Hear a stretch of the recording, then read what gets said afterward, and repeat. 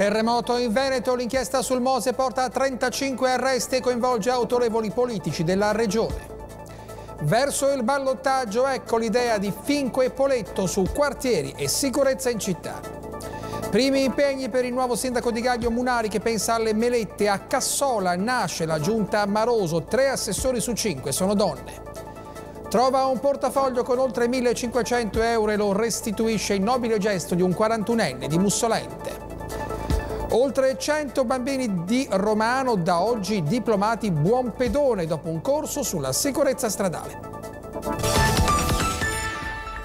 Buonasera, benvenuti in Bassano Notizie. La notizia del giorno fin dalle prime ore di stamane, la nuova Tangentopoli in Veneto, 35 arresti coinvolti autorevoli esponenti politici della nostra regione. Ci racconta tutto da Venezia. Tiziano Bullato. 25 ordinanze di custodia cautelare in carcere, 10 provvedimenti di arresti domiciliari e questo è il terremoto che sta scuotendo il Veneto in queste ore dopo l'inchiesta della Procura di Venezia che dura ormai da anni.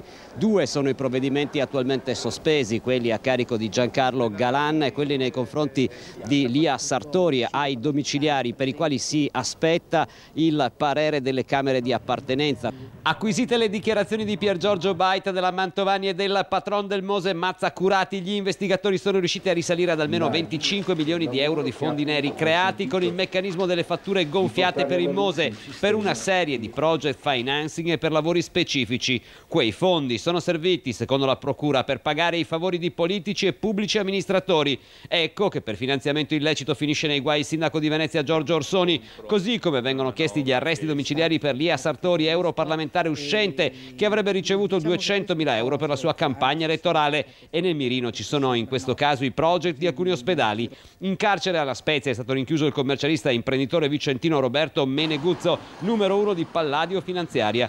Chiesto l'arresto anche del parlamentare Giancarlo Galan, già governatore regionale a sua volta accusato di aver ricevuto benefit e versamenti milionari. 200-250 mila euro all'anno per 10 anni le tangenti che si presume siano state pagate all'assessore regionale Renato Chisso.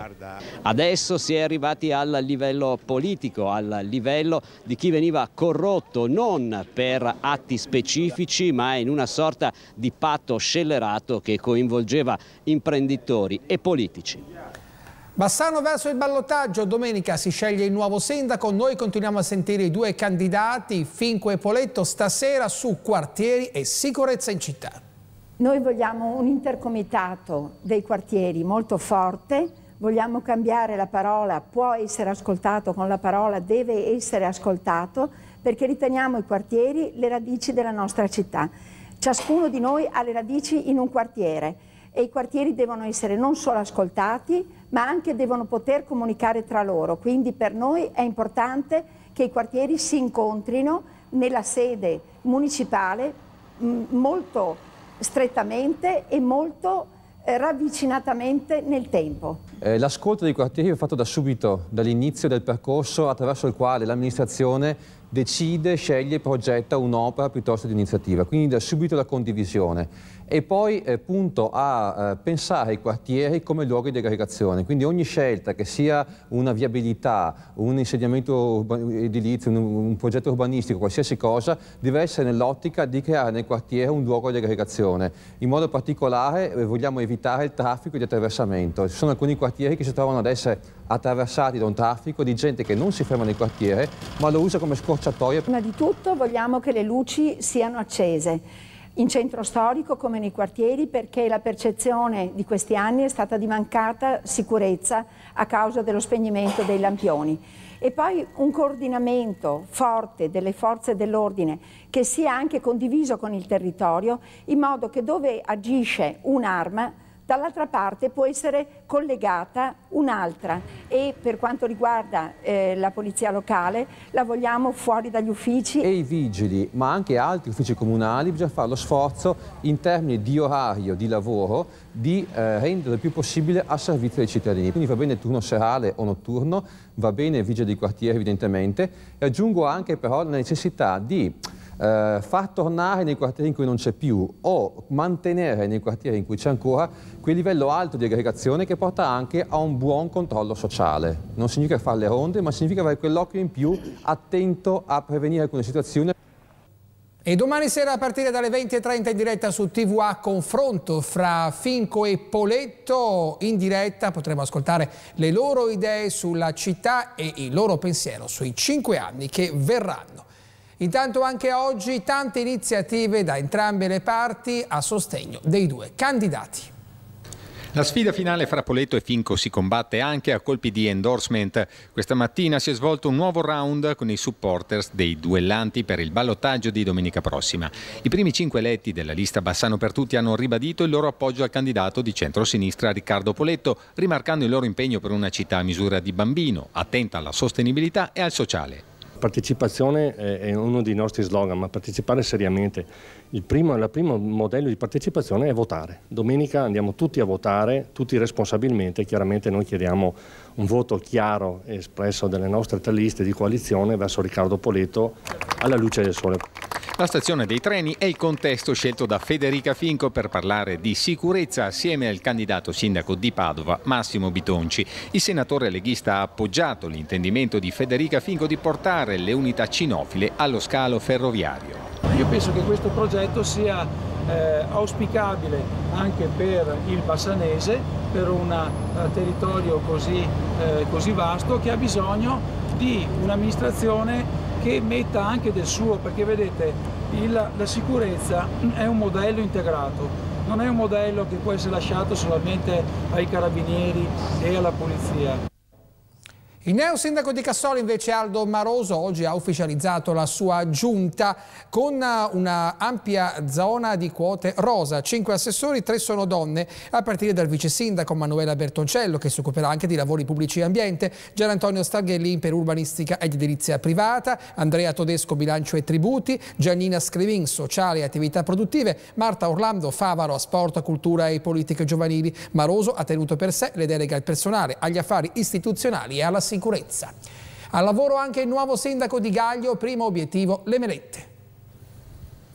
45enne imprenditore molto amato dai suoi concittadini che con il 55,5% di preferenze l'hanno eletto come primo cittadino del comune di Gaglio. Emanuele Munari, il volto della lista Insieme Gaglio Rinasce, non nasconde l'emozione dei suoi primi giorni da sindaco dopo aver militato per sette anni nei banchi della minoranza. La mia soddisfazione e la nostra soddisfazione è immensa, una soddisfazione che ci si può immaginare prima delle elezioni, ma poi si realizza quando proprio ti cade addosso tutto quello che ci è caduto addosso a noi, a me personalmente, come faro e come candidato sindaco e sindaco. Secondo lei quali sono i fattori che hanno permesso la sua vittoria? Beh, sicuramente l'aver cercato da tre anni a questa parte è l'unione del paese, l'unione sociale del paese che mh, cinque anni fa si era frammentata, si era disgregata nella composizione delle quattro liste famose. Cosa farà come prima cosa? Beh, le priorità sono due essenzialmente. La prima è rimettere un po' di eh, ordine eh, all'interno della macchina amministrativa che è stata un po' scombussolata con spostamenti vari, quindi ridare fiducia e ricoinvolgere e dare positività alle persone che lavorano. E poi il progetto importante sono le melette, quindi il rilancio delle melette con i fondi ODI che di certo arriveranno, però ci manca la parte del cofinanziamento che spetta al comune di Gaglio. Nobile gesto di un 41enne di Casoni di Mussolente che questa mattina si è recato alla stazione dei Carabinieri per consegnare un portafoglio contenente 1600 euro. Il 41enne lo ha trovato per terra di fronte all'ufficio postale di Cassola. Il portafoglio è stato restituito al suo proprietario, un anziano che aveva appena ritirato la pensione. Ancora cronaca anche nel prossimo servizio. Lei faceva da palo, lui si intrufolava in bar e negozi compiendo numeri da acrobata. Una coppia specializzata in furti che dal 24 al 28 settembre scorsi ha messo a segno quattro colpi, racimolando in tutto quasi 4.000 euro. A distanza di mesi i carabinieri di Bassano sono risaliti ai colpevoli, il marocchino di 30 anni Youssef El Gedawi e la sua compagna, una vicentina di 32 anni, le cui iniziali sono SS. Sono stati incastrati dalle riprese di varie telecamere di videosorveglianza private e comunali.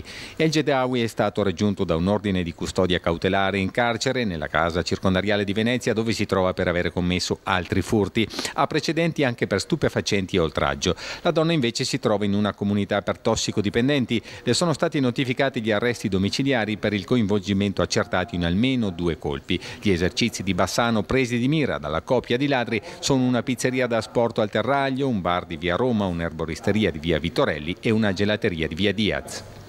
A Romano adesso dove da oggi oltre 100 ragazzini sono diplomati, buoni pedoni. Abbiamo imparato mm, ad attraversare la strada, i, i segnali stradali e a, a, rispettare e dare la precedenza.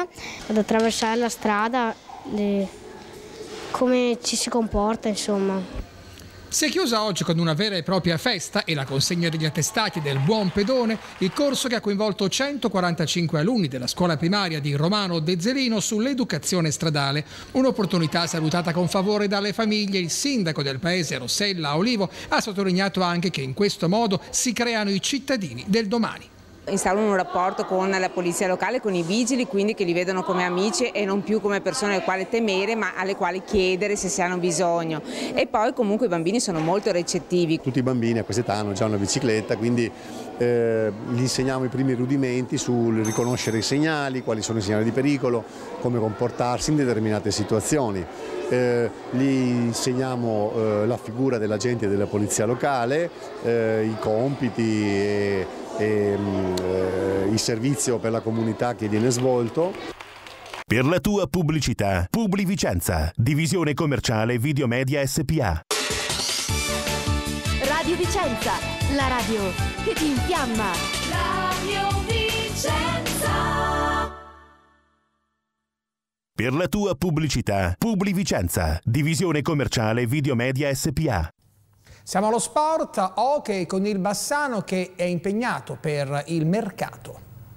Adesso c'è anche il conforto dell'ufficialità. Enrico Fincati affiancherà Maurizio Scucato nella conduzione del Bassano Hockey e si è subito adoperato sul mercato. Piace Vasquez, spagnolo del Villafranca, ma il vero obiettivo è comunque Pablo Aguaron, anch'egli del Villafranca, quintetto della Liga, difensore e prospetto di punta del panorama iberico. Quanto al portiere, i giallorossi ne hanno bloccati due. Mauro Dalmonte, tornato dal prestito di Lodi, e il veterano Juan Oviedo. Piacciono un bel po' entrambi, ma la società è propensa a dare fiducia a Dalmonte e potrebbe lasciare accantonare l'ipotesi Oviedo, che sino a ieri pareva un passo, e in difesa accanto accanto a Campagnolo si cercherà un altro difensore di livello sul mercato, oltre che il già citato spagnolo. E in attacco spazia Garcia Jimenez con Scuccate Trento primi cambi. Il club vuole un posto tra i primi quattro quest'anno, la finale l'anno prossimo e lo scudetto fra tre anni, il programma è chiaro. E contestualmente l'idea è quella di riorganizzare il settore giovanile ex novo per dare impulso, slancio e nuovo entusiasmo all'ambiente dopo il brillante playoff di maggio. Insomma, via Cunegatti, Ambrosio e Miguel Nicolas, tre partenze dolorosissime. Dentro un nuovo spagnolo, presumibilmente direttamente dal Monte tra i pali e un italiano rivelazione che piacerà un bel po', con Massimo Belligio in panca come coach. Squadra non da primissima fascia forse, ma squadra in grado di infastidire chiunque. Per il primo passo del nuovo corso può andare benone così. Una bella notizia di calcio perché Tommy Maestrello, grazie alle 11 reti segnate in questo campionato, si è aggiudicato il premio Laudano promosso dalla Lega Pro e dalla Gazzetta dello Sport come miglior marcatore dei campionati di Lega Pro di prima e seconda divisione tra i giocatori nati dopo il 93. L'attaccante giallo-rosso riceverà il premio sabato durante l'intervallo della partita playoff che si giocherà a Vercelli tra Pro Vercelli e Sud Tirol. È tutto, vi ricordo il sito tvavicenza.it per rivedere Bassano Notizie, vi ricordo domani sera alle 20.30 Versus, il confronto tra i candidati al ballottaggio Poletto e Fin, con noi se volete ci diamo appuntamento alle prossime edizioni.